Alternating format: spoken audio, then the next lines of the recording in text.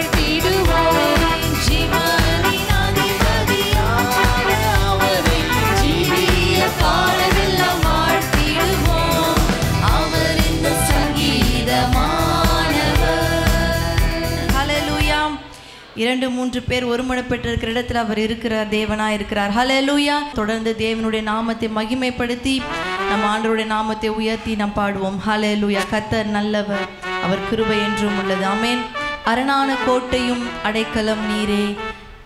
அமைதி வாழ்வும் நீரே. ஹலலூயா கத்தரை நம்மளுடைய பாதுகாப்பாய் நம்முடைய கேடகமாய் இருந்து நம்மளை வழிநடத்துகிற தேவனாய் இருக்கிறார். கரங்களை தட்டி நாம் சேர்ந்து பாடுவோம்.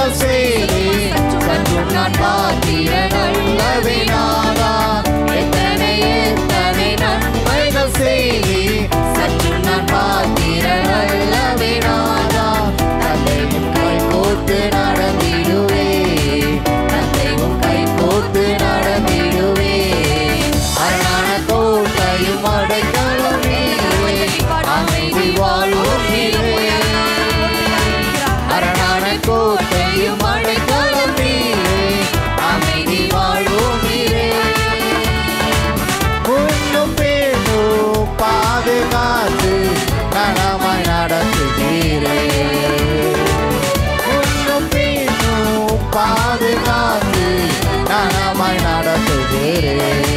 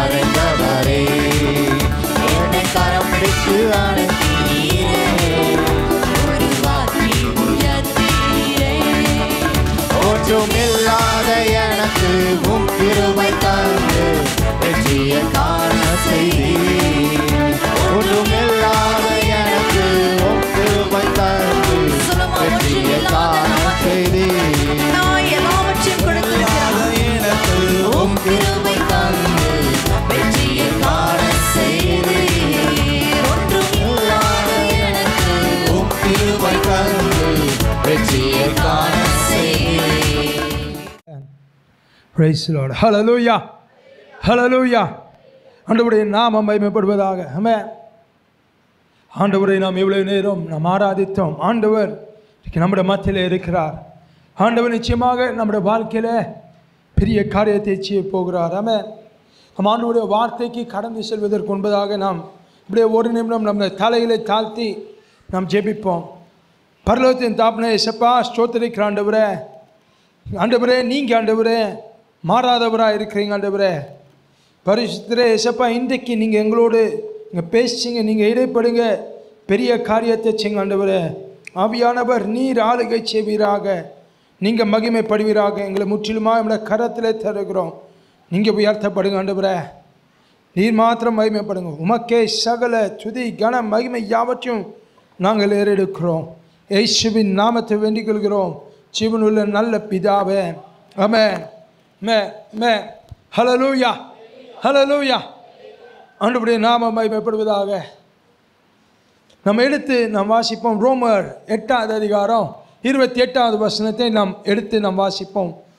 ரோமர் எட்டாவது அதிகாரம் இருபத்தி எட்டாவது அதிகாரத்தை நாம் எடுத்து நாம் வாசிப்போம். அன்றியும் அன்றையும் அவருடைய தீர்மானத்தின்படி அவருடைய தீர்மானத்தின்படி அழைக்கப்பட்டவர்களால் அழைக்கப்பட்டவர்களாய் தேவனிடத்தில் அன்பு கூறுகிறவர்களுக்கு தேவனிடத்தில் அன்பு கூறுகிறவர்களுக்கு சகலமும் நன்மைக்கு ஏதுவாக நடக்கிறதென்று அறிந்திருக்கிறோம். சகலமும் நன்மைக்கு ஏதுவாக நடக்கிறது என்று அறிந்திருக்கிறோம். ஆமென். ஹalleluya பக்கத்தில் இருக்கவங்களுடைய கையை பிடிச்சு சகலமும் நன்மைக்கு ஏதுவாக நடக்கும். நல்லதாகவே நடக்கும். இனிமே இன்னையிலிருந்து என் வாழ்க்கையில் நல்லதாகவே நடக்கும். ஆமென். தேவனிடத்தில் அன்பு கூறுகிறவர்களுக்கு சகலமும் ஒரு காரியம் இல்லை. எல்லா காரியமும் நன்மைக்கு ஏதுவாக நடக்கும். ஆமாம் ஹலோ லோய்யா அன்றுடைய நாமம் மகிமைப்படுவதாக இன்றைக்கு நம்ம பார்க்க போகிற தலைப்பு தேவனிடத்தில் அன்பு கூடுகிறதை குறித்து நாம் பார்க்க போகிறோம். தேவனிடத்தில் அன்பு கூடுகிறதை குறித்து நாம் பார்க்க போகிறோம். ஆமென். தேவன் என்று சொல்லுகிற சமயத்தில் இந்த இடத்துல ஏசு கிறிஸ்துவை குறிக்கிறது. ஆமென். தேவன் என்று சொல்லுகிற சமயத்தில் ஏசு கிறிஸ்துவை ஏசு கிறிஸ்து இந்த பூமியில் இருந்தார். ஆமென். இந்த பூமியில் நம்மளுக்காக அவர் வந்தார். நம்ம அவரிடத்தில் அன்பு கூறணும்னு அவர் எதிர்பார்க்கிறார். ஆமாம் தேவன் இடத்துல அன்பு கூறுகிறவர் நம்ம தேவனை அன்பு கூறணும்னு ஆண்டவர் எதிர்பார்க்கிறார். ஆனால் பிசாசு என்ன எதிர்பார்க்குறான்? நம்ம பிசாசுக்கு பயந்து இருக்கணும் எதிர்பார்க்குறான். அப்படி அல்ல நம்ம தேவனுக்கு அன்பு கூறணும். ரெண்டாவது தேவனிடத்தில் அன்பு குறுக்கு எல்லா நன்மைக்கு எதுவாகனா முடியும் என்பதை அறிந்திருக்கிறோம். நிச்சயமாக அது எனக்கு தெரியும். ஆண்டவர் எனக்கு நன்மைனா செய்வார். ஆண்டவர் எனக்கு தீமையே செய்ய மாட்டார் என்பதை நம்ம நிச்சயமாக தெரிஞ்சிருக்கிறோம். ஆனால் தேவனை அறியாத தேவன் இல்லாத பிள்ளைகள் பிசாசு அவங்களுக்கு தீமை செய்கிறான் என்பது அவங்களுக்கு தெரியாது. பிசாசு அவங்களுக்கு தீமை செய்கிறான் என்பது அவங்களுக்கு தெரியவே தெரியாது. ஆனாலும் அவங்க அப்படி இருக்கிறாங்க. தேவனுடைய அன்பை அறியவில்லை அவங்க. ஆண்டவர் எப்போதும் அவருடைய பிள்ளைகளுக்கும் மற்றவர்களுக்கும் வித்தியாசத்தை உண்டு பண்ணுகிற ஆண்டவர். ஆமாம் அவரிடத்தில் அன்பு கூறும்போது எல்லாவற்றையும் அவர் நன்மைக்கு ஏதுவாக செய்து முடிப்பார். ஆமாம் நிச்சயமாக உங்களுடைய ஒவ்வொருத்தருடைய வாழ்க்கையிலும் ஆண்டவர் எல்லாவற்றையும் நன்மைக்கு ஏதுவாக செய்து முடிப்பார். ஆமாம் ஆனால் லூயா ஆண்டவருடைய நாமம் மகிமைப்படுவதாக. ஆமாம் தேவன் முத ஒரு ஐந்து காரியங்களை நம்ம வேகமாக நாம் பார்க்க போகிறோம். ஐந்து காரியங்களை நம்ம வேகமாக பார்க்க போகிறோம். முதலாவது தேவனிடத்தில் அன்பு கூற காரணங்கள். தேவனிடத்தில் அன்பு கூடுறதற்கு நம்ம காரணங்கள். ஆமேன். ஒரு காரியத்தை சொல்லுகிற சமயத்தில் எதுவாக இருந்தாலும் எதற்கு ஏன் எப்படின்னு கேள்வி கேட்டு அதை நன்றாய் புரிந்து கொள்ளணும். அப்போ தான் அப்போனா நம்ம அதை நன்றாய் அறிந்து அதில் நம்ம முழு ஈடுபாடோடு செலுத்த முடியும். நம்ம தேவனிடத்தில் அன்பு கூற வேண்டிய காரணங்கள். முதலாவது சங்கீதம் எண்பத்தி ஆறாவது அதிகாரம் பதினைந்தாவது வசனம். சங்கீதம் எண்பத்தி ஆறாவது அதிகாரம் பதினைந்தாவது வசனத்தை நாம் வாசிப்போம்.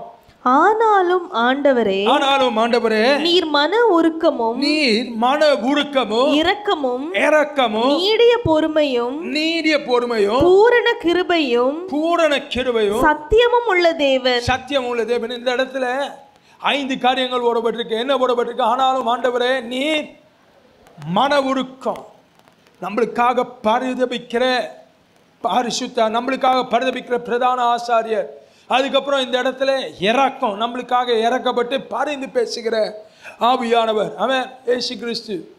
மூன்றாவது நீடிய பொறுமை. நீடிய பொறுமை. ஆங்கிலத்தில் நீடிய பொறுமைக்கு ஸ்லோ டு ஆங்கர் என்று சொல்லப்பட்டிருக்கு. கோபப்படுகிறதற்கு தாமதிக்கிறார். கோபப்படுகிறதற்கு தாமதிக்கிறார். நான்காவது என்ன போடப்பட்டிருக்கு பூரண கிருபை. பார்க்குறவெல்லாம் கிருபை அள்ளி கொடுத்துக்கிட்டே இருக்கிறார். பார்க்குறவெல்லாம் இந்தா வச்சுக்கோ இந்தா கிருபை என் கிருபை இருக்குது என் கிருபை இருக்குன்னு பூரண கிருபை தந்துக்கிட்டே இருக்கிறார். அதுக்கப்புறம் சத்தியம் உள்ளவர். ஆமாம் இந்த இடத்துல பூரண கிருபை அது நீடிய பொறுமையை நான் உங்கள் மனத்தில் நான் சொல்லுகிறேன். நீடிய பொறுமைன்னு சொல்லுகிற வேலையில் யோசிச்சு பாருங்கள் ஆண்டவர் ரெண்டாயிரம் வருஷம் பொறுமையாக இருக்கிறார். நம்ம பிறந்த நாள் முதல் இந்த நாள் வரைக்கும் நம்ம எத்தனையோ பாவங்கள் செய்திருக்கிறோம். ஒவ்வொன்றுத்துக்கும் அவர் தண்டிக்காமல் நீடிய பொறுமையாய் அவர் இருக்கிறார். ஆமென் லூயா அதனால் நம்ம ஆண்டவரை அன்பு கூறணும். ஆமென் அதனால் வீட்டில் லீவில் பசங்க இருந்தால் அவங்க ஏதாச்சும் சேட்டை பண்ணிட்டா அடிப்பிச்சு வாங்கிடுறோம் கோபம் வருது தாங்க முடியல அப்படி இருக்கிறப்ப நம்ம அனுதினமும் நம்ம பாவம் செய்கிறோம். பாவம் செய்யலைன்னு சொல்லவே இல்லை. நம்ம அனுதினமும் பாவம் செய்கிறோம். அனுதினமும் ஆண்டவர்கிட்ட வருகிறோம். அப்படி இருக்கிறப்ப ஒவ்வொரு வாட்டியும் ஆண்டவர் நம்மகிட்ட கோவப்பட்டார்னா என்ன நடக்கும்? அதை நம்ம யோசிச்சு பார்க்கணும். அந்த நீடிய பொறுமை ஆண்டவர். அமேன் அதனால தான் நம்ம நிர்மூலமாகாமல் இருக்கிறோம். அமேன் அந்த நீடிய பொறுமையினால அதனால் நம்ம ஆண்டவரிடத்தில் அன்பு கூற வேண்டும். ரெண்டாவது ரோமர் ஐந்து ஐந்தாவது அதிகாரம் எட்டாவது வசனத்தை நம்ம வாசிப்போம். ரோமர் ஐந்தாவது அதிகாரம் எட்டாவது வசனத்தை நாம் வாசிப்போம் என்றால் நாம் பாவிகளாய் இருக்கையில் நாம் பாவிகளா இருக்கையில் கிறிஸ்து நமக்காக மரித்ததினாலே கிறிஸ்து நமக்காக மறித்ததினாலே தேவன் நம்மேல் வைத்த தமது அன்பை விளங்க பண்ணுகிறார் நம்மேல் வைத்த அன்பை விளங்க பண்ணினார் எப்படி போடப்பட்டிருக்கு? நாம் பாவிகளா இருக்கையில் ஒருத்தர் இந்த பூமியில் வருகிறார் பூமியில் இருக்கிறார் ஒருத்தர். உங்கள் ஃப்ரெண்டுன்னு வச்சுப்போம். உங்களுக்கு உதவி செய்கிறார் என்றால் திரும்பி நீங்கள் உதவி செய்வீங்க என்பதை அவர் எதிர்பார்த்து செய்கிறார். அவரால் நீங்கள் மறுபடியும் ஏதாச்சும் செய்வீங்க. எனக்கு உதவி இப்போ தேவைப்படுகிற நேரத்தில் மறுபடியும் எனக்கு கை கொடுப்பார். ஏதாச்சும் உதவி பண்ணுவார். ரெண்டாவது நீங்கள் நல்லவரா கெட்டவரா என்பதை பார்த்து இவன் நல்லவன்பா இவனுக்கு செய்யலாம்பா அப்படின்னு சொல்லுவோம். ஆனால் இந்த வசனத்தில் என்ன போடப்பட்டிருக்கு? நாம் பாவிகளாக இருக்கையில் நம்மகிட்ட நல்லது இல்லை நம்ம பாவம் செஞ்சுக்கிட்டு இருக்கோம் நம்மகிட்ட ஒன்றுமே இல்லை.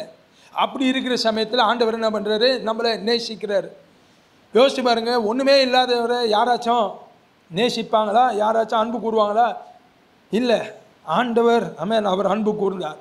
நம் பாவிகளாக இருக்கையில் கிறிஸ்து நமக்காக மறித்தார் அமேன் கிறிஸ்து நம்மளுக்காக மறித்தார் நமக்காக பாவமாக்கப்பட்டார் நம்மளுக்காக சாபமாக்கப்பட்டார். ஆமென் நம்ம நம்மளுடைய பாவத்தை அவர் சுமந்தார். நம்மளுடைய சாபத்தை அவர் சுமந்தார். நம்மளுடைய ரோகத்தை அவர் சுமந்தார்.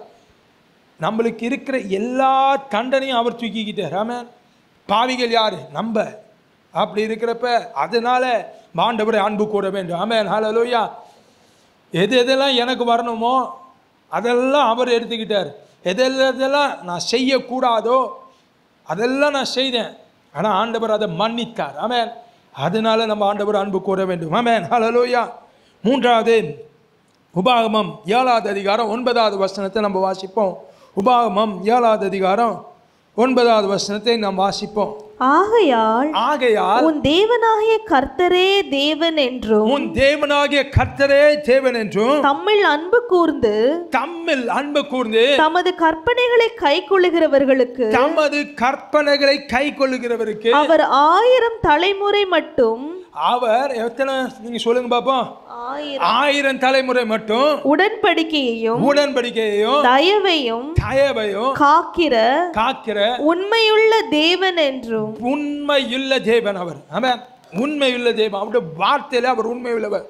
சொன்னதை செய்கிற ஆண்டவர். ஆமென். ஹalleluya உங்களுக்கு சொன்னதை உங்களுக்கு நிறைவேற்றுவார். அதை மாத்திரமல்ல உங்களுடைய பிள்ளைகளுக்கும் அதை நிறைவேற்றுவார். ஆயிரம் தலைமுறை வரைக்கும் அவர் இறக்கம் பாராட்டுகிற தேவன். நீங்கள் இல்லாமல் இருக்கலாம். ஆனால் உங்கள் பிள்ளைகளுக்கு நிச்சயமாக அவர் செய்வார். ஆமென். ஹalleluya. நீங்கள் இல்லை நீங்கள் பார்க்கல என்றதுனால ஆண்டவர் அப்படியே விட்டு விடுகிற ஆண்டவர் அல்ல. விட்டு விடுகிறவர் அல்ல. நிச்சயமாக அது ஆயிரம் தலைமுறைக்கும் அதை அவன் நிறைவேற்றுகிற ஆண்டவர். உங்களுடைய எதிர்காலத்தை மாத்திரமல்ல உங்களுடைய பிள்ளைகளுடைய பிள்ளைகளுடைய எதிர்காலத்தையும் அவர் அக்கறை உள்ளவராய் சிந்தனை உள்ளவராய் அதற்கேற்ற வண்ணமாக அவர் திட்டமிடுகிறவராய் இருக்கிறார். ஆமென். அவருடைய வார்த்தையை நிறைவேற்றுகிற ஆண்டவர். ஆமென். ஹalleluya எடின்ப்ரோ அவர் அழகா ஒரு பாடல் பாடி இருக்கிறார் அதில் சொன்னதை செய்வார். அமேன் சொல்வது அது செய்வதை சொல்வார். அதுக்கப்புறம் செய்யாததையும் சொல்லாததையும் அவர் செய்து முடிப்பார். சொல்லாததையும் செய்து முடிப்பார். அவர் சொன்னதை செய்வார். சொன்னதை நிச்சயமாக அது செய்து முடிப்பார்.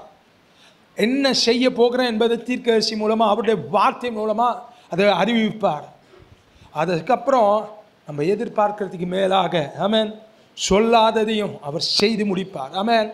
அதையும் அவர் நிறைவேற்றுவார். ஆமென். ஆண்டவர்கிட்ட நீங்கள் கொஞ்சமாக ஜோமனிங்க நீங்கள் ஆண்டவர் நிறையா தருவார். ஆமென். ஹalleluya. அதனால நான் ஆண்டவர் சொல்ல கடுகளவு விசுவாசம் இருந்தால் மலையை பார்த்து பேர்ந்து போனால் அது பேர்ந்து போகும். ஆமென். கடுகளவு விசுவாசம். ஆண்டவர் சொல்கிற வாக்கு தத்தத்தில் கொஞ்சம் விசுவாசம் இருந்துச்சுன்னா ஆண்டவர் பெருசாக செய்வார். ஆமென். ஹalleluya. அது எவ்வளோ பெரிய காரியமாக இருக்கட்டும் அது நீங்கள் நினச்சி பார்க்க முடியாததாக இருக்கட்டும். ஆனால் கத்தை செய்வார். அது உங்களுக்காக செய்வார். ஆமென். அதனால் ஆண்டவரிடத்தில் அன்பு கூறணும். ஆமென். ஹalleluya. எதற்காக ஆண்டவரிடத்தில் அன்பு கூற வேண்டும் என்று பார்த்தோம். ரெண்டாவது எப்படி ஆண்டவரிடத்தில் நம்ம அன்பு கூற வேண்டும்? எப்படி நம்ம ஆண்டவரிடத்தில் அன்பு கூற வேண்டும்? ஆமென். சங்கீதம் நூற்றி பத்தொம்போது நாற்பத்தேழு நாற்பத்தெட்டு நம்ம வாசிப்போம். சங்கீதம் நூற்றி பத்தொம்போது நாற்பத்தேழு நாற்பத்தெட்டு நம்ம வாசிப்போம். நான் பிரியப்படுகிற உமது கற்பனைகளின் எப்படி போடப்பட்டிருக்கு?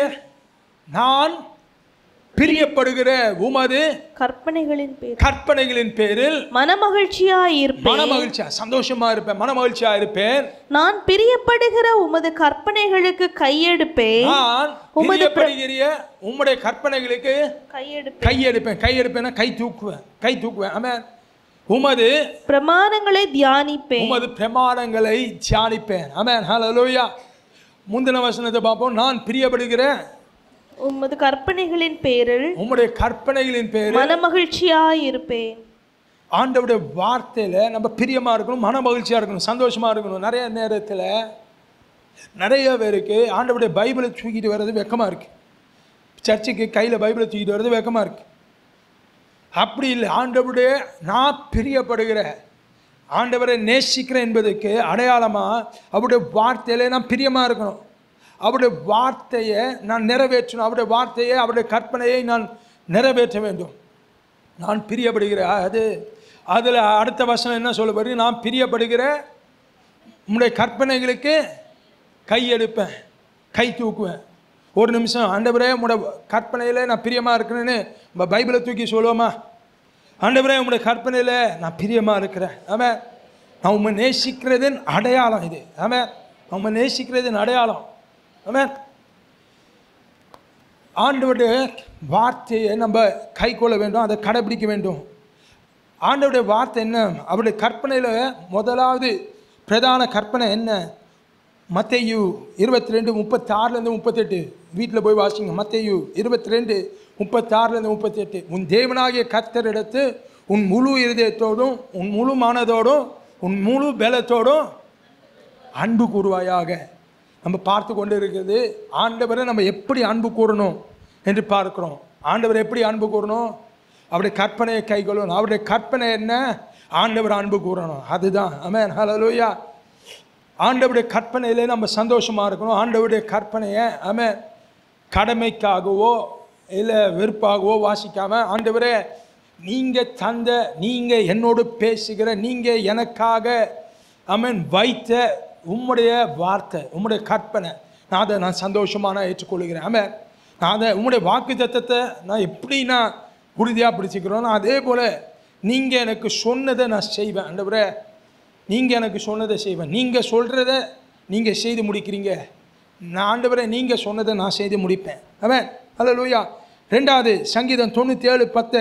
நம்ம எடுத்து வாசிப்போம். சங்கீதம் தொண்ணூற்றி ஏழு பத்து. ஆண்டவரை நான் எப்படி நேசிக்கிறேன் என்பதை வெளிப்படுத்துகிறது. எப்படி நேசிக்கணும்? ஆமென். சங்கீதம் தொண்ணூற்றி ஏழு பத்து. கர்த்தரில் அன்பு கூறுகிறவர்களே கர்த்தரில் அன்பு கூறுகிறவர்களே தீமையை வெறுத்து விடுங்கள். தீமையை வெறுத்து விடுங்கள். வெறுத்து விடுங்க தீமையை அறவே வெறுத்துருங்க. தீமையை வெறுத்து விடுங்க கத்தரில் அன்பு கொடுக்கிறதே தீமையை வெறுத்து விடுங்கள். நிறைய நேரத்தில் நம்மளுடைய ஜெபம் யாபேசின் ஜெபம் என்ன ஜெபம்? தீங்கு என்னை துக்கப்படுத்தாதபடி என்னை காத்தரலும் தீங்கு என்னை துக்கப்படுத்தாதபடி என்னை காத்தரலும் நம்ம ஜெபிக்கிறோம். ஆனால் என்ன நடக்குது? நிஜத்தில் நம்முடைய வாழ்க்கையில் நீங்கள் சங்கீதம். ஏழாவது அதிகாரம் பதினான்காவது வருஷம் பதினைந்தாவது வருஷத்தை நீங்கள் வாசித்து பாருங்கள் சங்கீதம் ஏழாவது அதிகாரம் பதினான்காவது வருஷம் பதினைந்தாவது வருஷத்தை வாசிப்போம் என்றால் இதோ அவன் அவன் அக்கிரமத்தை பெற கர்ப்ப வேதனைப்படுகிறான் அவன் அக்கிரமத்தை பெற கற்ப வேதனைப்படுகிறான் தீவினையை கற்பந்தரித்து தீவினையை கற்பந்தரித்து பொய்யை பெறுகிறான். பொய்யை பெறுகிறான். குழியை வெட்டி குழி வெட்டுறதே தப்பு.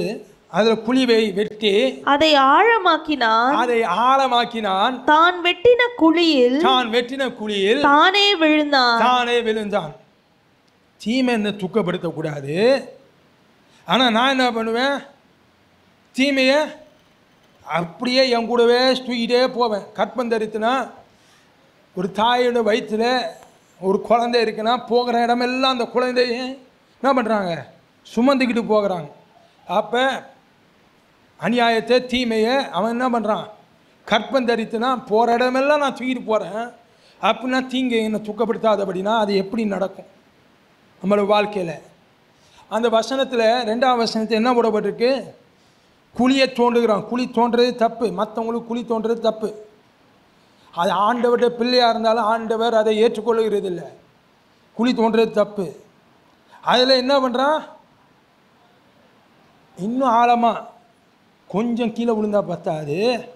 இன்னும் கொஞ்சம் ஆழமாக நல்லாவே ஆழமாக திரும்பி எந்திரிச்சே வரக்கூடாது. அந்த அளவுக்கு. அப்படி தோண்டிட்டு அதுக்கப்புறம் என்ன பண்ணுறான் தான் வெட்டின. அப்படி இருக்கும் போது என்ன நடக்குது? அந்த இடம் அந்தகாரமாயிருது. அவன் வெட்டினது இடம் அவனுக்கு தெரியல. அவனே கீழே போய் அதில் விழுந்துடுறான் ஆண்டவர் கை கொடுக்க மாட்டார். அதாவது தீமையை நம்ம வெறுக்கணும். அதை தான் ஆண்டவர் சொல்கிறார் தீமையை வெறுக்கணும். அது தீமை செய்கிறவருக்கு ஆண்டவர் சொல்கிறாரு தீமையினால் நீங்கள் அதுக்கு பலன் அளிக்காதீங்க. உங்களை சபிக்கிறவர்களை ஆசீர்வதிங்க. யாராச்சும் இன்றைக்கி நம்மளை திட்டி பார்த்துட்டோமே யாராச்சும் நம்மளை பின்னாடி கூட பேசிடக்கூடாது. என்ன நடக்கும்? நேரில் போய் அது எப்படி என்னை திட்டலான்னு நீங்கள் இன்றைக்கி சண்டைக்கு வருவோம். அப்படி இல்லை. ஆண்டவர் என்ன பண்ணார்? பொறுமையாக இருந்தார். அதுபோல் நம்மளும் பொறுமையாக இருக்கணும். தீமைக்கு தீமை பழி வாங்குறதுக்கு பழி வாங்குதல் இருக்கவே கூடாது. ஆண்டவர் அமன் தீமையை வெறுத்து விடுங்கன்னு சொல்லுவார். அதுதான் நம்ம ஆண்டவரிடத்தில் காண்பிக்கிற அன்பு. மூன்றாவது யாக்கோபு ரெண்டாவது அதிகாரம் எட்டாவது வசனம். யாக்கோபு ரெண்டாவது அதிகாரம் எட்டாவது வசனம். உன்னிடத்தில் நீ அன்பு கூறுகிறது போல உன்னிடத்தில் நீ அன்பு கூறுகிறது போல பிறனிடத்திலும் அன்பு கூறுவாயாக பிறனிடத்திலும் அன்பு கூறுவாயாக. என்று வேத வாக்கியம் சொல்லுகிற என்று வேத வாக்கியம் சொல்லுகிறது. ஆமென். ஆண்டவரை நான் நேசிக்கிறேன்னா என் சுற்றி உள்ள எல்லாரோடையும் நான் சமாதானமாக இருப்பேன். என் சுற்றி இருக்கிற எல்லாரோடையும் ஆண்டவருடைய வார்த்தை சொல்லுது கூடுமானால் யாவரோடும் சமாதானமாக இருங்க. முடிஞ்ச வரைக்கும் எல்லாருக்கூடையும் சமாதானமாக இருங்க.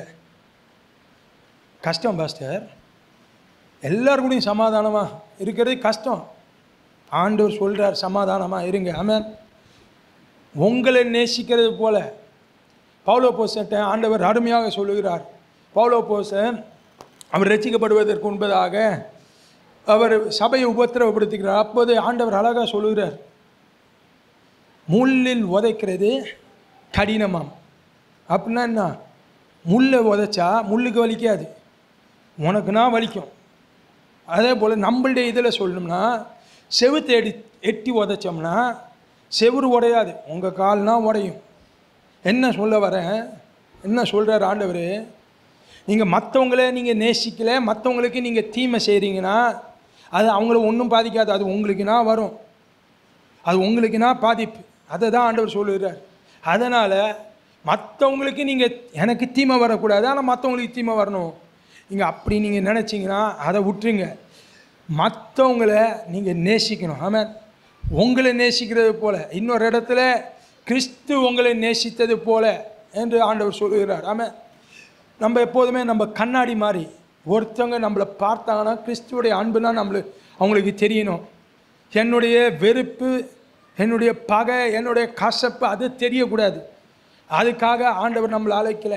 ஆமாம் இங்கே சிலுவை நீங்கள் எடுத்துக்கொண்டீங்கன்னா சிலுவை நீங்கள் பார்த்தீங்க என்றால் அது விதமாக இருக்கிறது. சிலுவை இப்படி இருக்குது எனக்கும் தேவனுக்குள்ள தொடர்பு. இந்த பக்கம் எனக்கும் மனித சக மனிதருக்குள்ள தொடர்பு அதை குறிக்கிறது. இப்படி இந்த சிலுவையை அதனால் கூட்டல் அடிஷனுக்கு அடையாளமாக சிம்பிளாக அவர்கள் வைத்திருக்கிறாங்க எனக்கும் தேவனுக்கும் எனக்கும் மனுஷனுக்கும் சக மனிதனுக்கும் தொடர்பு சரியாக இருந்துச்சுன்னா எல்லாம் கூட்டப்படும். அப்படி எனக்கும் சக மனுஷனுக்கும் தொடர்பு இல்லைன்னா இது கலன்று விழுந்துடும். எனக்கும் உள்ள தேவனுக்குள்ள தொடர்பு அது இல்லாமல் போய்விடும். அப்போ இது ஒண்டி இருந்துச்சுன்னா என்ன? மைனஸ் இருக்கிறதும் போய்கிட்டே இருக்கும். நான் என்னென்ன கஷ்டப்பட்டாலும் இருக்கிறதும் போய்கிட்டே இருக்கும். ஆண்டவர் என் கூட இருக்கணும்னா நான் என் சக மனுஷன் கூட சரியாக இருக்கணும். அதை தான் ஆண்டவர் சொல்லுகிறார். என் ச எல்லா சகோதரிடத்திலும் நான் அன்பு உள்ளவர்களாக இருக்கணும். ஆண்டவரை நான் பிரதிபலிக்கணும். என் மூலமாக ஆண்டவருடைய நாமம் அவங்க மத்தியில் மகிமை பண்ணணும். காந்தி அவர் என்ன சொன்னாரா? கிறிஸ்துவ எனக்கு ரொம்ப பிடிக்கும். ஆனால் கிறிஸ்தவர்களை பிடிக்காது. அந்த மாதிரி இருக்கக்கூடாது. இன்றைக்கி நம்மளை பார்க்குறவங்க ஆண்டவரை பார்க்கணும். ஆமாம் அந்த அளவுக்கு நம்ம ஆண் அந்த அளவுக்கு ஆண்டவருடைய அன்பை நம் மற்றவர்களுக்கு காண்பிக்க வேண்டும். ஆமென். ஹalleluya இது வரைக்கும் ரெண்டு காரியத்தை பார்த்தோம். தேவனிடத்தில் அன்பு கூறுவதற்குரிய காரணங்களை பார்த்தோம். ரெண்டாவது தேவனிடத்தில் நம்ம எப்படி அன்பு கூறணும்னு பார்த்தோம். மூன்றாவது தேவன் எப்படி நம்ம மேலே அன்பு கூர்ந்தார்? தேவன் எப்படி நம்ம மேலே அன்பு கூர்ந்தார்? நெகேமியா ஒன்பதாவது அதிகாரம் பதினேழாவது வசனம். நெகேமியா ஒன்பதாவது அதிகாரம் பதினேழாவது வசனத்தை நம்ம வாசிப்போம் என்றால் அவர்கள் இந்த செவி கொடுக்க இந்த மனதில்லாமலும் வசனத்தின் மொத பகுதியில் நம்ம என்ன செய்தோம் என்று சொல்லப்பட்டிருக்கு இந்த வசனத்தின் ரெண்டாவது பகுதியில் ஆண்டவர் நம்மளுக்கு என்ன செய்தார்? ஆண்டவர் நம்மளை எப்படி அன்பு கூர்ந்தார் என்று சொல்லப்பட்டிருக்கு இந்த மொத பகுதியை நம்ம வாசிப்போம். அவர்கள் செவி கொடுக்க மனதில்லாமலும் அவர்கள் செவி கொடுக்க மனதில்லாமலும் அவர்களிடத்திலே நீர் செய்த அவர்களிடத்திலே நீ செய்த உம்முடைய அற்புதங்களை நினையாமலும் போய் அற்புதங்களை நினையாம போய் நினையாம போய்னா மறந்து போயிட்டாங்க. அற்புதங்களை நினையாமற் போய் தங்கள் கழுத்தை கடினப்படுத்தி தங்கள் கழுத்தை கடினப்படுத்தின ஆண்டவர் இந்த பக்கம் இருந்தாருன்னா தங்கள் முகத்தை திருப்பி கழுத்தை கடினப்படுத்தி தங்கள் அடிமைத்தனத்துக்கு திரும்பும்படி தங்கள் அடிமைத்தனத்துக்கு ஆண்டவர் விடுதலையாக்கி கொண்டு வந்தார். ஆனா திருப்பி அடிமைத்தனத்துக்கு திரும்பும்படி அவர்கள் கலகம் பண்ணி அவர்கள் கலகம் பண்ணி ஒரு தலைவனை ஏற்படுத்தினார்கள். ஒரு தலைவனை ஏற்படுத்தினார்கள். ஆண்டவர் ஏற்படுத்தின தலைவனை நிராகரித்து விட்டு புறக்கணித்து விட்டு ஒரு தலைவனை ஏற்படுத்துறாங்க ஆகிலும் ஆகிலும் வெகுவாய் மன்னிக்கிறவரும் இதுவரைக்கும் நம்ம செய்தோம். இப்ப ஆண்டவர் என்ன செய்கிறார்? ஆகிலும் வெகுவாய் மன்னிக்கிறவரும் எப்படி போடப்பட்டிருக்கு? வெகுவாய் வெகுவாய் மன்னிக்கிறார். ஆமாம் என்ன செஞ்சாலும் நம்ம ஆண்டவர்கிட்ட மறுபடியும் வந்தோம்னா அவர் வெகுவா மன்னிக்கிறார். ஆமென். வெகுவாய் மன்னிக்கிறவரும் இரக்கமும் இரக்கமும் மன உருக்கமும் மன உருக்கமும் நீடிய சாந்தமும் நீடிய சாந்தமும் மகா கிருபையும் உள்ளவருமான மகா கிருபையும் உள்ளவருமான தேவனாகிய நீர் தேவனாகிய நீ அவர்களை கைவிடவில்லை. எப்படி போடப்பட்டிருக்கு அவர்களை கைவிடலை. நான் கையை பிடிச்சிக்கிட்டு உதறி தள்ளிட்டு நான் போயிட்டேன். ஆனால் நீங்கள் என்ன பண்ணீங்க? என்னை கைவிடாமல் நான் கையை பிடிச்சானு உதறேன் நான் உன்னை தூக்கிட்டு போயிடுறேன்னு ஆண்டவர் தூக்கிட்டார். ஆமாம் நாளையா கழுகு சுமக்கிறது போல். இனிமே அவர் மேலே நின்னானா பேலன்ஸு இல்லைன்னா கீழே விழுந்துருவோம் அந்த அளவுக்கு ஆண்டவர் தூக்கிட்டு போயிட்டார். ஆமேன் ஹலலோயா ஹலலோயா ஆண்டவர் ஆமேன் நம்ம என்னென்ன பாவம் செஞ்சாலும் நம்ம ஆண்டவர்கிட்ட மனம் திரும்பி வரும் பொழுது ஆண்டவர் அதை அதை ஞாபகப்படுத்திடுவோம் உன்னை பார்க்கும் போதே அதெல்லாம் ஞாபகம் வருதுன்னு சொல்லுகிற ஆண்டவரில் அதெல்லாம் நான் மறந்துட்டேன். நான் மன்னிச்சிட்டேன். நீ என்னுடைய பிள்ளை உம்முடைய உம்முடைய அவருடைய ரத்தத்தினால கழுவப்பட்ட அவருடைய பிள்ளை. ஆமேன் நம்மளை பார்க்கும் போது ஆமேன் அவருடைய ரத்தத்தினால் கழுவப்பட்டதுன்னா தெரியுது. நம்ம செய்த பாவங்கள் ஞாபகம் வரல. ஆமேன் ஆண்டவர் எவ்வளவு நல்லவர். எப்படி ஆண்டவர் நம்மளை நேசிக்கிறார்? அருமையான பாடல். நன்மை ஏதும் ஒன்றும் நம்மில் இல்லை. என்ற போதும் நம்மை நேசித்தார். ஆமேன் ஒரு நன்மை இல்லை. ஆனால் என்ன நேசித்தார். ஆமென் ஹalleluya மன்னிக்க. ஆமேன் திரள். ஆமேன் அந்த வசனத்தில் என்ன போடப்பட்டிருக்கு? மன்னிக்க. வெகுவாய் மன்னிக்கிறவர் வெகுவா மன்னிக்கிறவர். நம்மளை வெகுவா மன்னிக்கிறவர். இன்னைக்கு வரைக்கும் அவர் மன்னிச்சிட்டு கொண்டே இருக்கிறார். ஆமென். ஆண்டவர்கிட்ட வரும்போது நம்மளை மன்னிக்கிறார். ரெண்டாவது ஆமென் ஒன்று யோவான் நாலாவது அதிகாரம் ஒன்பதாவது வசனம் பத்தாவது வசனம். ஒன்று யோவான் நாலாவது அதிகாரம் ஒன்பதாவது வசனம் பத்தாவது வசனத்தை நாம் வாசிப்போம். தம்முடைய ஒரே பேரான குமாரனாலே தம்முடைய ஒரே பேரான குமாரனாலே நாம் பிழைக்கும்படிக்கு நாம் பிழைக்கும்படிக்கு தேவன் அவரை தேவன் அவரை இவ்வுலகத்திலே அனுப்பினதினால் உலகத்திலே அனுப்பினதினால் தேவன் நம்மேல் வைத்த அன்பு வெளிப்பட்டது. தேவன் நம் மேல் வைத்த அன்பு வெளிப்பட்டது. நாம் தேவனிடத்தில் அன்பு கூர்ந்ததினால் அல்ல. நாம் தேவனிடத்தில் அன்பு கூர்ந்ததினால் அல்ல. அவர் நம்மிடத்தில் அன்பு கூர்ந்து அவர் நம்மிடத்தில் அன்பு கூர்ந்து நம்முடைய பாவங்களை நிவர்த்தி செய்கிற நம்முடைய பாவங்களை நிவர்த்தி செய்கிற கிருபாதார பலியாக திருவாதர பலியாக தம்முடைய குமாரனை அனுப்பினதினாலே நம்முடைய குமாரனை அனுப்பினதினாலே அன்பு உண்டாயிருக்கிறது. எப்படி அன்பு உண்டாயிடுச்சு ஆமென் ஹalleluya இந்த வசனத்தில் இந்த ரெண்டு வசனத்தில் ரெண்டு முக்கியமான காரியங்களை நம்ம பார்க்கிறோம். ஒன்று ஆமென். அவருடைய ஒரே பேரான குமாரனை ஆண்டவர் அனுப்புகிறார் ஒரே பேரான குமாரன். உங்களுக்கு ஒரே பையன் இருந்தானா? அவனை ஊழியத்துக்கு அனுப்புனாலும் அனுப்ப மாட்டோம். அப்படி இருக்கிறப்ப அவனை இராணுவத்துக்கு அனுப்பு. அப்படின்னா நம்ம அனுப்புவோமா? அந்த இடத்துல ஐயோ பாதுகாப்பு இல்லை. அந்த இடத்துல என்ன என்ன பாடுபடுவானோ என்ன கஷ்டப்படுவானோ குளிர் அதெல்லாம் அப்படின்னு சொல்லிட்டு நம்ம அனுப்ப மாட்டோம். அப்படி இருக்கிற சமயத்தில் ஆண்டவர் என்ன சொல்கிறாரு ஒரே பேரான குமாரனை அனுப்புகிறார் அவர் வருகிறப்ப அவருக்கு நன்றாய் தெரியும். நான் இந்த இடத்துக்கு வந்தேனா பூமிக்கு வந்தேனா நான் பாடு அனுபவிக்கணும் நான் மறிக்கணும் என்னை கொன்றுவாங்க. எல்லாம் ஆண்டவருக்கு நன்றாகவே தெரியும். அப்படி இருக்கிற சமயத்தில் நம்மீது அன்பு வைத்து அவர் இறங்கி வருகிறார். அவர் இறங்கி வந்து நம்மளை நேசித்தபடியினால எப் அந்த வசனத்தில் என்ன போடப்பட்டிருக்கு? நாம் அந்த ரெண்டாவது வசனத்தில் பத்தாவது வசனத்தில் நாம் தேவனிடத்தில் அன்பு கூர்ந்ததினால் அல்ல. எப்படி போடப்பட்டு நான் தேவனிடத்தில் அன்பு கூர்ந்ததினால் அல்ல. அவர் தேவனிடத்தில் அன்பு கூர்ந்ததினால அல்ல. அவர் நம்ம மேல் அன்பு கூர்ந்ததினால. நான் ஆண்டவரை நேசிச்சிட்டேன். அதனால என்ன தேடி வந்தார். ஏன் அன்பை அவன் பிரதிபலிக்கிற விதமாக அவர் வந்தார்ல அவர் யாருன்னே தெரியாது. நான் பாவத்தில் இருந்தேன். வாஸ்தபடியே நான் பாவத்தில் இருந்தேன். யாருன்னே தெரியாது. அவருடைய அன்பு தெரியாது. அப்படி இருக்க சமயத்தில் அவர் என்னை தேடி வருகிறார். ஆமென். அவருடைய அன்பை எனக்கு தருகிறார். ஆமென்.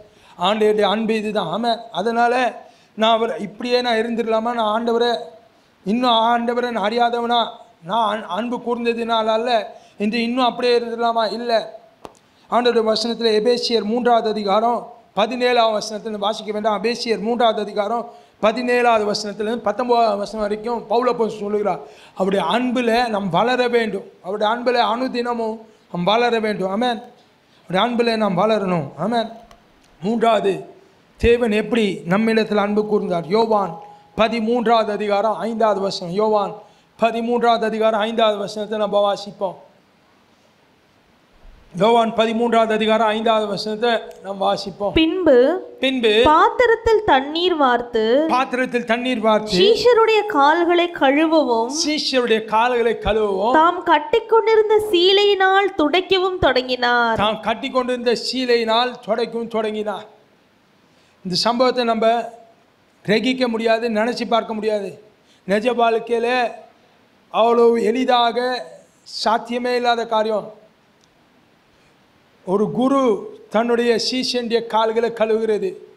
பொதுவாக சீஷன் குருவுக்கு அடுத்த ஸ்தானத்தில் இருக்கிறான். அதனால் குருவுக்குனா சீசன் சேவை செய்யணும் ஒழிய குரு சீசனுக்கு சேவை செய்ய மாட்டார். மாத்திரமல்ல சீசனுடைய முகத்தை கழுவுனா அது வித்தியாசம். ஆனால் சீசனுடைய கால்களை கழுவுல பாதத்தை கழுவுறா.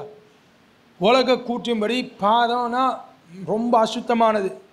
ரொம்ப அசுத்தமானது. அது யாருமே விரும்புகிறது அல்ல அப்படி இருக்கிற சமயத்தில் ஆண்டவர் என்ன பண்ணுகிறார்? சீஷர்களுடைய பாதத்தை கழுவுகிறார் சீஷருடைய பாதத்தை கழுவுகிறார் அதுக்கப்புறம் அவருடைய சொந்த துணியினால் அதை துடைக்கிறார். அமேன் ஏசு கிறிஸ்து அமேன் ஹலலோயா அவர் தாழ்மையின் சொருவி.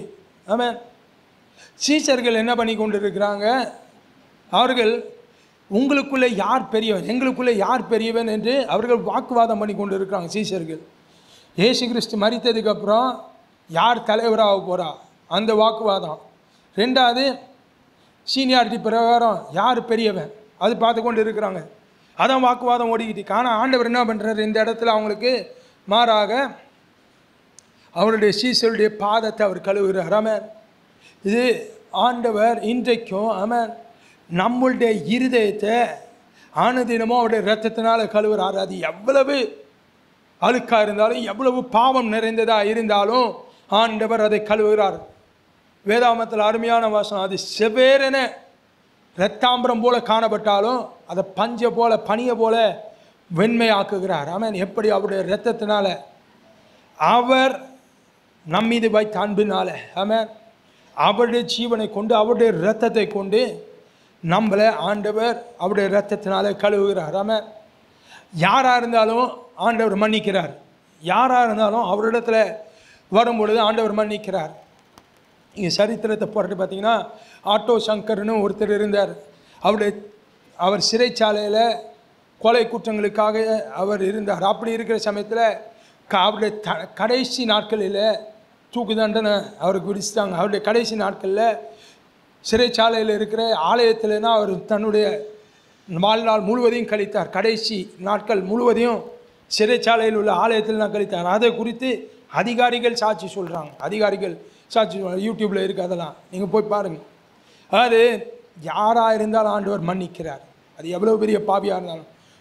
ஆண்டவர் அவர் மன்னித்து சேர்த்து கொள்கிற ஆண்டவராக இருக்கிறார். இன்றைக்கும் ஆண்டவர் நம்மளை மன்னித்து சேர்த்து கொள்கிற ஆண்டவராக இருக்கிறார். அமேன் இதுதான் ஆண்டவருடைய அன்பு. அமேன் மூன்று காரியத்தை பார்த்தோம்.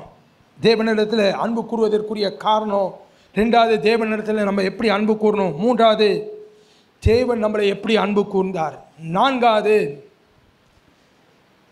வேதாமத்தில் ஆண்டவரை அன்பு கூர்ந்த பரிசுத்தவான்களை குறித்து நாம் பார்க்க போகிறோம். எப்படி வேதத்தில் ஆண்டவரை அன்பு கூர்ந்தார்கள் என்று வேதாமத்திலிருந்து சில பரிசுத்தவான்களை குறித்து நாம் பார்க்க போகிறோம். வேகமாக மூன்று நபர்களை குறித்து நாம் பார்ப்போம். அவன் முதலாவது ரோமர் எட்டாவது அதிகாரம் முப்பத்தி எட்டாவது வருஷம் முப்பத்தி ஒன்பதாவது வருஷத்தை நம்ம வாசிப்போம். ரோமர் எட்டாவது அதிகாரம் முப்பத்தி எட்டாவது வருஷம் முப்பத்தி ஒன்பதாவது வருஷத்தை மரணமானாலும் மரணமானாலும் ஜீவனானாலும் ஜீவனானாலும் தேவதூதர்களானாலும் தேவ தூதர்களானாலும் அதிகாரங்களானாலும் அதிகாரங்களானாலும் வல்லமைகளானாலும் வல்லமைகளானாலும் நிகழ்காரியங்களானாலும் நிகழ் காரியங்களானாலும் வரும் காரியங்களானாலும் வரும் காரியங்களானாலும் உயர்வானாலும் உயர்வானாலும் தாழ்வானாலும் தாழ்வானாலும் வேறெந்த சிருஷ்டியானாலும் வேற எந்த சிருஷ்டியானாலும் நம்முடைய கர்த்தராகிய கிறிஸ்து இயேசுவில் உள்ள நம்முடைய கத்தராகிய இயேசு கிறிஸ்துவனுள்ள தேவனுடைய அன்பை விட்டு தேவனுடைய அன்பை விட்டு நம்மை பிரிக்க மாட்டாதென்று நம்மை பிரிக்க மாட்டாது நிச்சயித்திருக்கிறேன். எப்படி போடுவதற்கு? நிச்சயத்திருக்கிறேன். இந்த இடத்துல பவுல போஸ் ஒரு பத்து காரியங்களை சொல்லுகிறார். பத்து காரியங்களை சொல் ஆரம்பத்திலே அவர் சொல்லுகிறார் மரணமானாலும் ஆரம்பிக்கிறார். ஆமென். இருக்கலையே இந்த உலகத்தில் மிகப்பெரியதாக தான் மரணம். அதில்னா ஆரம்பிக்கிறார். மரணமானாலும் ஜீவனானாலும் எதுவாக இருந்தாலும் இதில் குறிப்பிட்ட விதமாக அவர் சொல்லுகிறார் நிகழ்காலமாக இருந்தாலும் வருங்காலங்களமானாலும் எதிர்காலத்தில் என்ன சூழ்நிலை நடந்தாலும் என்ன நடந்தாலும் ஆண்டவுடைய அன்பை விட்டு என்னை பிரிக்க முடியாது. ஆமாம் அதை இப்போவே அவர் சொல்லுகிறார். ஆமாம் என்னை பற்றி ஆண்டவருக்கு நல்லா தெரியும். நானும் ஆண்டவரை எவ்வளவு நேசிக்கிறேன் என்பது எனக்கு தெரியும். அதனால் எதிர்காலத்தில் என்ன நடக்கட்டும் அதை பற்றி எனக்கு கவலை இல்லை. ஆனால் ஆண்டவுடைய அன்பை விட்டு என்னை பிரிக்க முடியாது. அதோட இன்னும் கொஞ்சம் ஒரு படி கூட்டி எந்த சிருஷ்டியானவனும் தேவ தூதரே இறங்கி வந்து ஆண்டவருடைய அன்பை விட்டு என்னை பிரிக்க முடியாது. ஆமென். என்ன மாய மந்திரம் பண்ணாலும் ஆண்டவுடைய அன்பை விட்டு என்னை பிரிக்க முடியாது. ஆமென். என்ன நடந்தாலும் ஆண்டவுடைய அன்பை விட்டு பிரிக்க முடியாது. பவுலோ போசன் நம்மளை பார்க்கலும் எல்லார பார்க்கலும் அதிக உபத்திரம் பாடு அனுபவித்தார். அவர் ரெண்டு கொரிந் ரெண்டு கோரிந்தியர் பதினோராவது அதிகாரம் வாசிக்க வேண்டாம். ரெண்டு கோரிந்தியர் பதினோராவது அதிகாரம் இருபத்தி நான்காவது வசனத்திலிருந்து இருபத்தி ஒன்பதாவது வசனம் வரைக்கும் நான் எவ்வளவா பாடுபடுகிறேன் என்பதை அவர் சொல்லுகிறார். அந்த பாடலை நம்ம கூட நம்ம அனுபவிச்சது சற்று அனுபவிச்சது இல்லை யோப போல் இல்லை. யோப பார்க்கலாம் அதிகமாக இவர் அனுபவிச்சிருக்கிறார். அப்படி இருக்கிறப்ப இவர் என்ன சொல்லுகிறாரு? நான் எது வந்தாலும் ஆண்டவுடைய அன்பை விட்டு என்னை பிரிக்காது. இதில் கடைசியாக என்ன சொல்கிறாரு ஆண்டவுடைய அன்பை விட்டு பிரிக்காது என்று நிச்சயத்திருக்கிறேன். ஆமாம் இதுக்கு முன்னாடி ஒரு காரியத்தை நிச்சயத்திருக்கிறேன் நம்ம வாசித்தோம். ரோமர் எட்டு இருபத்தி எட்டில் அன்றியும் அவருடைய தீர்மானத்தின்படி அழைக்கப்பட்டவர்களாய் தேவனிடத்து அன்பு கூறுகிறதுக்கு சகலமும் நன்மைக்கு ஏதுவாக சகலமும் நன்மைக்கு ஏதுவாக நடக்கிறது என்று அறிந்திருக்கேன். நன்மைக்கு ஏதுவாக நடக்கிறது என்று அறிந்திருக்கிறேன். அதே பௌலப்போசன் அதை பௌலப்போசன் சொல்லுகிறார். அதே பௌலப்போசன் சொல்லுகிறார். ஆண்டபடி அன்பை விட்டு எதையும் பிரிக்காது என்று அதையும் நான் நம்ம நிச்சயத்திருக்கிறேன். ஆமாம் ஹலோ லோயா ஹலோ லோயா ஆண்ட உறுதியா நிச்சயத்திருக்கிறேன்னா அது உறுதியாக சொல்லுகிறார். அமேன் ரெண்டாவது அப்போஸ்தலர் ஏழாவது அதிகாரம் ஐம்பத்தி நான்காம் வருஷம் ஐம்பத்தி ஏழாவது வருஷம் ஐம்பத்தி எட்டாம் வருஷம் அறுபதாவது வருஷத்தை நாம் பார்ப்போம். அதில் ஐம்பத்தி நான்காவது வசனத்தை குறிப்பிட்ட விதமாக நாம் பார்ப்போம். இவைகளை அவர்கள் கேட்ட பொழுது இவைகளை அவர்கள் கேட்ட பொழுது மூர்க்கம் அடைந்து மூர்க்கம் அடைந்து அவனை பார்த்து பல்லை கடித்தார்கள். அவனை பார்த்து பல்லை கிடைத்தார்கள். இந்த பகுதியில் ஸ்டேவானை குறித்து சொல்லப்பட்டிருக்கு. ஸ்டேவானை குறித்து சொல்லப்பட்டிருக்கு. ஸ்டேவானுக்காக எதிராக எல்லாரும் ரெடியாக கல்லை தூக்கிட்டு நிற்கிறாங்க கல் அடித்து சாவடிக்கிறதுக்கு. ஒரு நாயை கல் அடித்து துரத்துறது போல ஸ்டேவானை கல்லெறிஞ்சு சாவதற் சாவடிப்பதற்காக அவர்கள் ஆயத்தமாக இருக்கிறாங்க. மூர்க்கம் அடைந்து பல்ல கடிச்சிக்கிட்டு. அப்படி இருக்கிறப்ப ஸ்டேவான் அவர்களுக்கு என்ன சொல்கிறாரு பிதாவே இவர்களுக்கு மன்னிங்க. ஆண்டவரே இவங்க என்ன செய்கிறாங்க தெரியாது. ஏசு கிறிஸ்து சொன்ன அதே செபத்தை இவர் அவர் சொல்லுகிறார். ஏசு கிறிஸ்து எனக்கு முன்பாக அப்படி கடந்து சென்றிருக்கிறார். அவருடைய அன்பை நான் வெளிப்படுத்தணும்னா இந்த சூழ்நிலையிலையும் நான் இவர்களை மன்னிக்கணும். ஆமென். ஜோசேப்பை பார்க்கலும் மேலான அன்பு ஸ்தேவான். ஆமென். யோசேப்பை சகோதரருக்கு புறக்கணித்தார்கள் குழியில் தூக்கி போட்டாங்க விற்றுட்டாங்க அதோடு விட்டுட்டாங்க அவரை கொல்ல முயற்சி பண்ணல. ஆனால் ஸ்டேவான இந்த இடத்துல கொல்வதற்கு ஆயத்தமாக இருக்கிறாங்க. எந்த நேரத்தில் வேணாலும் கல் அடிபடலாம். ஆயத்தமான இருக்கிறார். அந்த சமயத்தில் அவர் சொல்கிறார் ஆண்டவரே உங்களை மன்னிங்க. உங்களை மன்னிங்க என்று. அந்த மனப்பான்மை எந்த சூழ்நிலையிலும் நம்ம மற்றவர்களை மன்னிக்கிற மனப்பான்மை. ஆண்டவரை நான் நேசிக்கிறேன். இல்லை ஆண்டவரை நான் நேசிக்கிறேன் என்று சொன்னால் மற்றவங்க காணத்தக்கதாக மற்றவங்கள நம்ம மனப்பூர்வமாக மன்னிக்கணும். அதை தான் ஆண்டவரை நேசிக்கிறேன் என்பதை நாம் தெரியப்படுத்துகிறோம். ஆமென். மூன்றாவது ரூத்தின் புத்தகம் ஒன்றாவது அதிகாரம் பதினஞ்சாவது வசனத்திலேருந்து பதினேழாவது வசனம் வரைக்கும் வாசிப்போம். ரூத்து ஒன்றாவது அதிகாரம் பதினஞ்சாவது வசனத்திலேருந்து பதினேழாவது வசனம் வரைக்கும். அப்பொழுது அவள் இதோ உன் சகோதரி தன் ஜனங்களிடத்துக்கும் அப்பொழுது அவன் இதோ உன் சகோதரி தன் ஜனங்களிடத்துக்கும் தன் ஜனங்களிடத்திற்கும் தன் தேவர்களிடத்திற்கும் திரும்பி போய்விட்டாளே. தன் தேவர்களிடத்துக்கும் திரும்பி போய்விட்டாலே நீயும் நீயும் உன் சகோதரியின் பிறகே திரும்பி போ என்றாள். உன் சகோதரி பிறகு திரும்பி போ என்றா? அதற்கு ரூத் அதற்கு ரூத் நான் உம்மை பின்பற்றாமல் நான் உம்மை பின்பற்றாமல் உம்மை விட்டு திரும்பி போவதை குறித்து உம்மை விட்டு திரும்பி போவதை குறித்து என்னோடே பேச வேண்டாம். என்னோட பேச வேண்டாம். நீர் போகும் இடத்திற்கு நீங்க போற இடத்திற்கு நானும் வருவேன். நானும் வருவேன். நீர் தங்கும் இடத்திலே இந்த இடத்துல இதுக்கப்புறம் தான் ரூத் படிப்படியாக அவருடைய அன்பின் அளவை அவர்கள் உயர்த்துகிறார்கள். முதலாவது சொல்றாங்க நீங்க போற இடத்துக்கு நான் வருவேன். ரெண்டாவது அவங்க என்ன சொல்லுகிறாங்க? நீர் தங்கும் இடத்திலே நீ தங்கும் இடத்துல நானும் தங்குவேன். நானும் தங்குவேன். உம்முடைய ஜனம் என்னுடைய ஜனம். ரெண்டு ஜனமும் வித்தியாசமான ஜனம். ரெண்டும் வேற வேற கோத்திரங்கள் வேற வேறு வேறு ஜாதி இனங்கள் வேறு வேறு இடங்கள். அப்போ அவங்க என்ன சொல்கிறாங்க உம்முடைய சேனம் என்னுடைய சேனம். அவன் அதுக்கப்புறம் உம்முடைய தேவன் என்னுடைய தேவன். உம்முடைய தேவன் என்னுடைய தேவன். சம்பந்தமே இல்லை.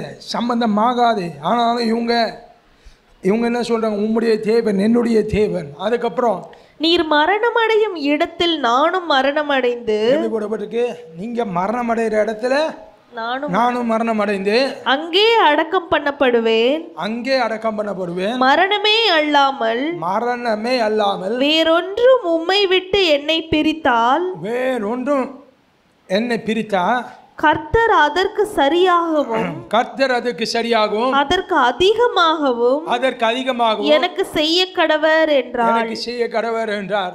ரூத் இந்த வார்த்தைகளை தெரிஞ்சு சொல்கிறாங்க நன்றாய் அதை உணர்ந்தவர்களாக சொல்கிறாங்க ரூத் அவங்க மாமியாரை மாத்திரமல்ல ஆண்டவரை எவ்வளவு நேசித்தார்கள் என்பதை உணர்ந்தவர்களா அவங்க சொல்லுகிறார்கள்.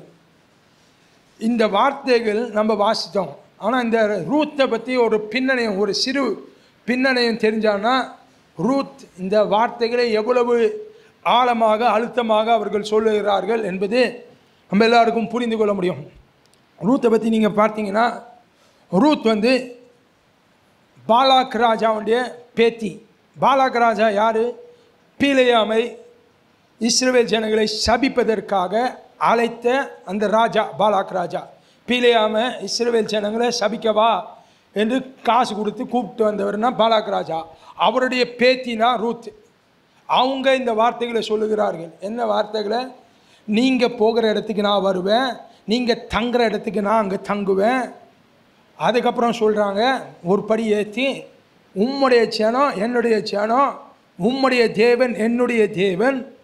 அதுக்கப்புறம் அதோடு நிறுத்தி விடாமல் மறுபடியும் இன்னொரு படி ஏற்றி நீங்கள் எங்கே சாகுறீங்களோ நீங்கள் எங்கே மறிக்கிறீங்களோ அந்த இடத்துல நான் மறிப்பேன்.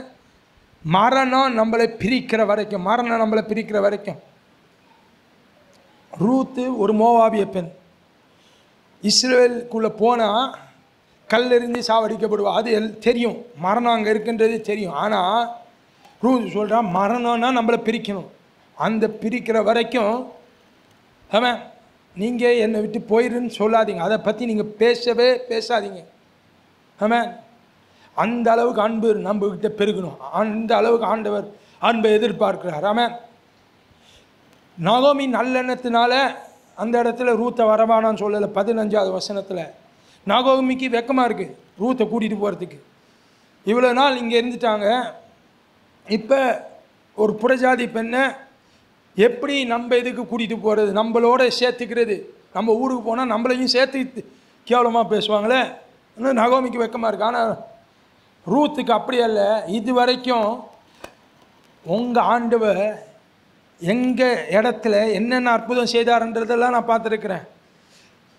சபிக்க கூட்டிகிட்டு வந்தவரை அவர் வார்த்தையை மாற்றி ஆசீர்வாதமாக மாற்றினார் அது எனக்கு நான் பார்த்துருக்குறேன். எனக்கு நல்லா தெரியும். அப்படி இருக்கிறப்ப அந்த ஆசீர்வாதத்தின் பங்காக நான் மாறணும். அவன் நான் வெறும் சபிக்கப்பட்ட நிலத்திலே இருக்கிறதல்ல நான் ஆசீர்வாதத்துக்கு மாறணும். அதனால் நான் உங்களை நேசிக்கிறேன். உங்கள் கடவுளை நேசிக்கிறேன். நீங்கள் என்ன தள்ளுனாலும் நான் பிடிச்சு கொள்வேன் ஆமாம் நான் உறுதியாக பிடிச்சு கொள்வேன் ஆமாம் அதுதான் அன்பு. ஆமாம் லோயா துரத்த துரத்த பிடிச்சிக்கிறது தான் அன்பு. பாசமே இல்லை. அது ஆனாலும் நான் உங்கள் பின்னாடி வருவேன். அதுதான் அன்பு. ஆமேன். அதுதான் அன்பு. ஆண்டவர் நம்மளை நேசித்தார். ஆமேன். அதனால் நம்ம நேசிக்கிறோம் என்பதனால் அல்ல. நம்ம பாவிகளாக இருக்கிற சமயத்தில் தான் ஆண்டவர் நம்மளை நேசித்தார். ஆமேன். ஆண்டவர் அறியாத நம்ம அன்பு கூடாத சமயத்தில் தான் ஆண்டவர் நம்மளை நேசித்தார். அப்படி இருக்கிறப்ப இதேனா நம்ம பிரதிபலிக்கணும். முகத்துக்கு நேராக நம்மளை யாராச்சும் பேசுகிறாங்களா அவங்க முகத்துக்கு பின்னாடி பேசுகிறாங்களா நேருக்கு நேர் போய் நின்று நான் அவங்களுக்கு சரிக்கு சமமாக நின்று அவங்கள நாலு வார்த்தை கேட்கணும்னு நினைக்காதீங்க. அவங்கள மன்னிச்சிட்டு ஏதோ தெரியாமல் பேசிட்டாங்கன்னு நீங்களே சொல்லிட்டு போங்க. ஆமாம் அதுதான் அன்பு. அதுதான் அன்பு. ஆமேன். உங்களை துரத்துறாங்களா? அதுதான் அன்பு. ஆமேன். மரணம் நம்மளை பிரிக்கும் வரைக்கும் என்று ரூத்து சொல்லுகிறாங்க. ஆமேன். திருமண உ- உடன்படிக்கை அதை தான் பண்ணுகிறோம். மரணம் நம்ம பிரிக்கும் வரைக்கும். திருமணம் அந்த அளவுக்கு அவர்கள் ரூத்து அவ்வளவு ஆழமாக அமேன் ஆண்டவரையும் தன்னுடைய மாமையாரையும் அவர்கள் நேசிக்கிறார்கள். ஆமென் ஹalleluya. ஆண்டவுடைய நாமம் மகிமைப்படுவதாக நான்கு காரியத்தை பார்த்தோம். முதலாவது தேவனிடத்தில் அன்பு கூறுவதற்குரிய காரணங்களை பார்த்தோம். ரெண்டாவது தேவனிடத்தில் எப்படி அன்பு கூறணும்னு பார்த்தோம். மூன்றாவது தேவன் நம்மளை எப்படி அன்பு கூர்ந்தார் என்று நாம் பார்த்தோம். நான்காவது வேதாமத்தில் தேவனுடைய பிள்ளைகள் ஆண்டவரை எப்படி அன்பு கூர்ந்தார்கள் என்று பார்த்தோம். ஐந்தாவது தேவனிடத்தில் அன்பு கூறுவதனால நம்மளுக்கு வருகிற ஆசீர்வாதங்கள். தேவனிடத்தில் அன்பு கூறுவதனால நம்மளுக்கு வருகிற ஆசீர்வாதங்கள். எடுத்து வாசிப்போம். ஒன்று கொரிந்தியர் எட்டாவது அதிகாரம் மூன்றாவது வசனத்தை நம்ம எடுத்து வாசிப்போம். ஒன்று கொரிந்தியர் எட்டாவது அதிகாரம் மூன்றாவது வசனத்தை நாம் வாசிப்போம். தேவனில் அன்பு கூறுகிறவன் எவனோ தேவனிடத்தில் அன்பு கூறுகிறவன் எவனோ அவன் தேவனால் அறியப்பட்டிருக்கிறான். கரங்களை உயர்த்தி அல்லலுயான்னு சொல்லுவான் அவன் தேவனிடத்து அன்பு கூறுகிற எவனோ அவன் தேவனால் அறியப்பட்டிருக்கிறான். ஆண்டவர் உங்களை அறிஞ்சிருக்கிறார். நீங்கள் தேவனிடத்தில் அன்பு கூறுகிறீங்க. ஆண்டவர் உங்களை நன்றாக அறிந்திருக்கிறார். இங்கே போகிற பிரச்சனையை ஆண்டவர் அறிந்திருக்கிறார். அந்த பிரச்சனையில் என்ன செய்யணும் என்பதை ஆண்டவர் அறிந்திருக்கிறார். ஆமென். ஆண்டவர் நன்றாய் அறிந்திருக்கிறார். ஆமென் ஹalleluya அவர் அறிந்திருக்கிறார். அவர் அறிந்தா ஆமென் அவர் சும்மா இருக்க மாட்டார். நிச்சயமா செயல்படுவார். ஆமென் ஹalleluya ரெண்டாவது ஆமென் சங்கீதம் நூற்றி நாற்பத்தைந்து இருபது. சங்கீதம் நூற்றி நாற்பத்தைந்து இருபதை நாம் வாசிப்போம். கர்த்தர் தம்மில் அன்பு கூறுகிற யாவரையும் காப்பாற்றி கர்த்தர் தம்மில் அன்பு கூறுகிற யாவரையும் காப்பாற்றி யாவரையும் காப்பாற்றுகிறார். ஆமென் ஹalleluya அவர்கள் அன்பு கூடுகிற யாவரையும் காப்பாற்றுகிறார். ஆண்டவர் நம்ம போக்கிலும் வரத்திலும் நம்மளை பாதுகாக்கிறார். ஆமாம் யாக்கோபுக்கு சொல்கிறார் நீ போகிற இடமெல்லாம் நான் உன் கூட வருவேன். அப்படின்னா என்ன அர்த்தம்? போகிற இடமெல்லாம் நான் உன்னை காப்பேன். ஆமாம் நான் பர்சனல் காடா பெரிய பெரிய எல்லோரும் பெரிய பெரிய அதிகாரிகளுக்கு பெரிய பெரிய அரசாங்க வேலை பார்க்குறவங்களுக்குன்னா தனிப்பட்ட செட் செட் செக்யூரிட்டி எல்லாம் போடுவாங்க. ஆனால் ஆண்டவர் சொல்கிறார் நான் உன் கூட பாதுகாப்பேன். நான் உன் கூட வருவேன். ஆமேன் போகிற இடமெல்லாம் நான் வருவேன். உன் கூடவே நான் வருவேன். ஆமேன் அதுக்கப்புறம் ஆண்டவர் ஆமேன் நம்மளை பாதுகாப்பார். நீங்கள் இல்லாத சமயத்தில் உங்கள் குடும்பத்தை பாதுகாப்பார். ஆமேன் என் குடும்பம் என்ன பண்ணும்? நான் இல்லையே நான் வெளியூர் போகிறேன். வெளியூரில் இருக்கிறவங்க என் குடும்பம் என்ன பண்ணும்? என்ன கஷ்டப்படுது கவலைப்படாதீங்க. கர்த்தர் பாதுகாத்து கொண்டு இருக்கிறார் கர்த்தருடைய பாதுகாப்பில் இருக்கிறீங்க. ஆமாம் கர்த்தர் உங்கள் ஆத்மாவை பாதுகாப்பார். கர்த்தர் உங்கள் ஆத்மாவை பாதுகாப்பார். பரலோகம் கொண்டு செல்லுகிற வரைக்கும் ஆண்டவர் உங்கள் ஆத்மாவை பாதுகாப்பார். பத்திரமாக பரலோகம் கொண்டு போய் சேர்ப்பார். ஆமென். அவருடைய வீட்டில் கொண்டு போய் சேர்ப்பார். ஆமென். மூன்றாவது ஒன்று கொரிந்தியர் ரெண்டாவது அதிகாரம் ஒன்பதாவது வசனத்தை வாசிப்போம். ஒன்று கொரிந்தியர் ரெண்டாவது அதிகாரம் ஒன்பதாவது வசனத்தை வாசிப்போம். எழுதியிருக்கிறபடி எழுதியிருக்கிறபடி தேவன் தம்மில் அன்பு கூறுகிறவர்களுக்கு தேவன் தமிழ் அன்பு கூறுகிறவருக்கு ஆயத்தம் பண்ணினவைகளை ஆயத்தம் பண்ணினவைகளை கண் காணவும் இல்லை கண் காணவும் இல்லை காது கேட்கவும் இல்லை காது கேட்கவும் இல்லை அவைகள் மனுஷனுடைய இருதயத்தில் தோன்றவும் இல்லை. அவைகள் மனுஷனுடைய இருதயத்தில் தோன்றவும் இல்லை. உங்கள் இதயத்தில் கை வச்சிங்க நீங்கள் சொல்லுங்கள் ஆண்டவரிடத்தில் நான் அன்பு கூறுகிறேன். எனக்கு நடக்கிறதே என் கண்ணு பார்க்கல. என்ன நடக்க போகுது என் கண்ணு பார்க்கல. அவ்வளோ பெருசாக இருக்குது கண்ணுக்கு எட்டாத உயரம். அவன் எனக்கு எட்டாத உயரங்களில் கொண்டு போய் விடுகிறார். அவன் என் காது கேட்கல. அவ்வளவு நான் கேள்விப்படாதது அளவுலாம் ஆண்டவர் எனக்கு செய்ய போகிறார். அவன் மூன்றாவது அவன் நான் நினச்சி பார்க்காதது. நான் எதிர்பார்க்காதது ஆண்டவர் எனக்கு செய்ய போகிறார். ஆமென். ஹலலோயா அவரிடத்தில் அன்பு கொண்டோம்னா அவர் எல்லாவற்றையும் அவர் செய்து முடிப்பார். எல்லாவற்றையும் செய்து முடிப்பார். பந்தியை ஆயத்தப்படுத்துவார். ஹலோ லூயா மாத்திரமல்ல அவருடைய ராஜ்யத்துக்கு நம்மளை ஆயத்தப்படுத்துவார். நம்மளுக்காக ஒரு ஸ்தலத்தை ஆயத்தப்படுத்தி கொண்டு இருக்கிறார் ஹமேன் இந்த பூமியில் உள்ள தேவைகளை சந்திப்பார். பரலோகத்தில் உள்ள தேவைகளை சந்திப்பார். எல்லாவற்றையும் அவர் பார்த்து கொள்வார். ஹலோ லூயா ஆண்டவருடைய நாம மயமைப்படுவதாக கடைசியாக ஒரு விஷயம் அந்த ரோமர் எட்டாவது அதிகாரம் இருபத்தி எட்டாவது வசனத்தை நம்ம எல்லாரும் சேர்ந்து நம்ம வாசிக்க போகிறோம். ரோமர் எட்டாவது அதிகாரம் இருபத்தி எட்டாவது வசனத்தை எல்லாரும் சேர்ந்து வாசித்துட்டு நம்ம ஜெபிக்க போகிறோம். ஆமாம் அன்றியும் அவருடைய தீர்மானத்தின்படி அழைக்கப்பட்டவர்களாய் தேவனிடத்தில் அன்பு கூறுகிறவருக்கு சகலமும் நன்மைக்கு ஏதுவாக நடக்கிறது. ஆமாம் ஹalleluya நம்ம அப்படியே நம்ம எழும்பி நிற்போம். ஆமாம் அவருடைய அவரிடத்தில் அன்பு கூறுகிறவருக்கு சகலமும் நன்மைக்கு ஏதுவாக நடக்கிறது. ஆண்டவர் நன்மைக்கு ஏதுவாக நடத்துகிறார். லோரி ஹalleluya ஹalleluya ஹalleluya ஆண்டவரே உம்மிடத்தில் நாங்கள் அன்பு கூறும்போது எங்கள் சகலத்தையும் நன்மைக்கு ஏதுவாக நடத்துறீங்க ஆண்டவரே.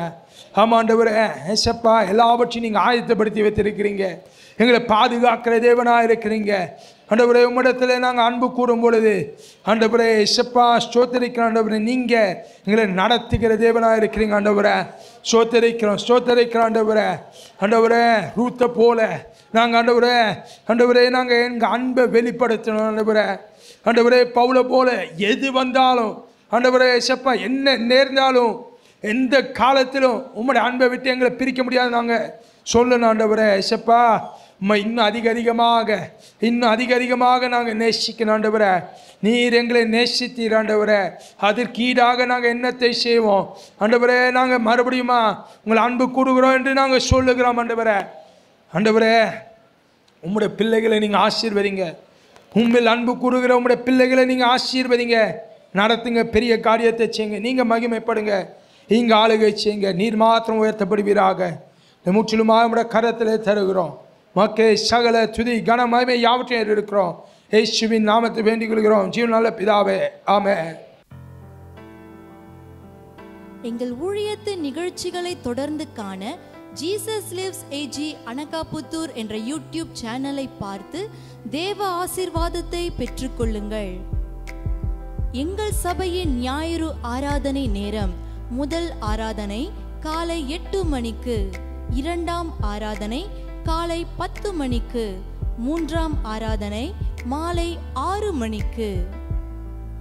எங்கள் சபையின் முகவரி இயேசு ஜீவிக்கிறார் ஏஜி சபை எண் ஒன்று டோபிகானா தெரு அனகாபுத்தூர் பேருந்து நிலையம் அருகில் சென்னை ஆறு லட்சத்தி எழுபது. உங்கள் ஜப உதவிக்கு ஒன்பது ஒன்று ஏழு ஆறு ஏழு ஆறு நான்கு இரண்டு பூஜ்ஜியம் எட்டு மற்றும் பூஜ்ஜியம் நான்கு நான்கு இரண்டு இரண்டு நான்கு எட்டு ஐந்து இரண்டு ஒன்பது ஐந்து. கர்த்தர் உங்களை ஆசீர்வதிப்பாராக.